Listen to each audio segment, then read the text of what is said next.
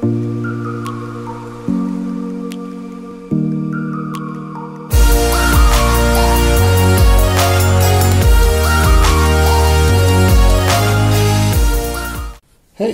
and welcome to a new video. This video will be about cable length and is it important? Does it matter if you get a really long cable like this or if you use a short cable like this one? Will it charge your phone twice as fast or will it take three times as long or well what's the difference? Doesn't say in the packaging, manufacturers don't talk about it. And, well, let's put that to the test, shall we? Okay, so to start, this is an Anker PowerPort 10.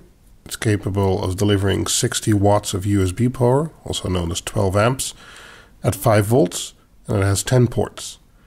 Currently, there's three MyGeek cables connected. This is the 3 feet one, or 1 meter. As you can see, the voltage has dropped to 4.55 when running it at 2 amps. Okay, let's go back. This is the MyGeek 2 meter cable. And the voltage has dropped a little bit more to 4.32 volts. Still at 2 amps. Okay. And this is the third cable. You can see still 5.16 volts going in. This is a 10 feet cable or 3 meters, and you can see the voltage drop just below 4 volts to 3.99. Okay, let's uh, look at that again. So you can see the input voltage is stable for all ports. It's 5.15 volts and all the voltage loss you see and, uh, and in turn wattage loss is because of uh, voltage drop in the cables. Here's the 1 meter or 3 feet cable, 6 feet or 2 meters.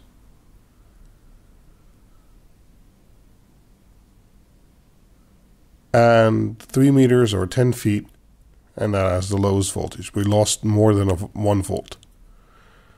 And this is the total overview. Okay? And next up, we have four cables of, from Anker. Again, we're injecting the same amount of power. And let's see how these cables do.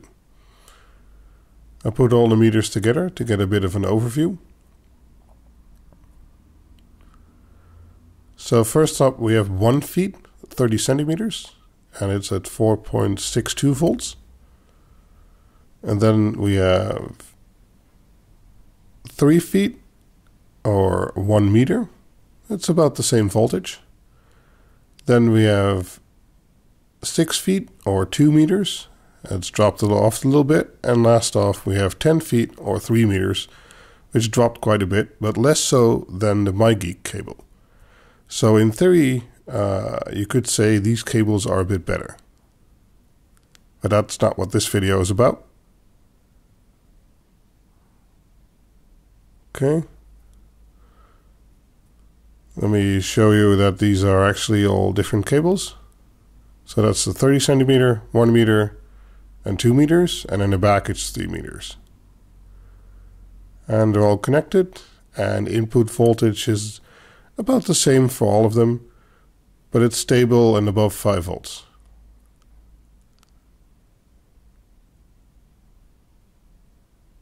Well, okay. That's that's about it. So, does cable length matter? What do you think? So, after these tests with these different cables, is cable length important? Well, I guess the answer is yes and no. Um, yes, cable length will influence charging speed directly. Um, and this is because of one phenomenon. And the phenomenon is called voltage drop. That means that the further the voltage has to travel, uh, the more copper is needed to keep the same voltage, and otherwise the voltage is lost because of inefficiency. Um, And so a, a, a shorter cable, like this one, this one's really short, will charge faster than a really long one like this. But does it really matter? I mean, looking at what we just measured, uh, it's either going to be like injecting 5.1 and getting um, 4.4 out of it, or getting 3.9 to 4 volt out of it.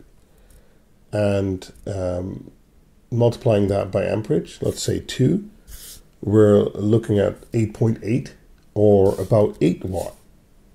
And well, that's not that big of a difference. So, yes, there is a difference. Is it important? Not that much. But I remind you, these are good cables. They have um, a good gauge of uh, wire in them, I believe 20. And um, not all cables are made this well.